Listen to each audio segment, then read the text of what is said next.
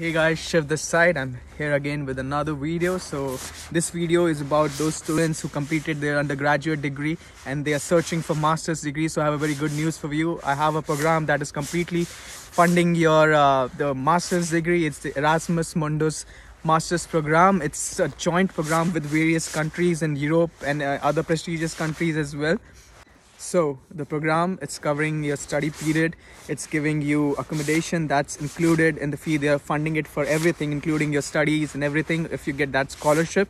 And uh, the period the duration of study it depends. Like it can be for a few countries or they have exchange programs with multiple countries. And the degrees they're offering it can be a joint degree with like a single degree with multiple countries involving in it or it has some kind of like a multiple degrees as well.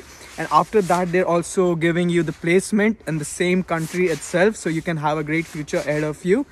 So what you're waiting for you need to if you want a good future you, you need to like see through it man. It's a very good very good opportunity for all of you guys. So if you want to know about it more just ping me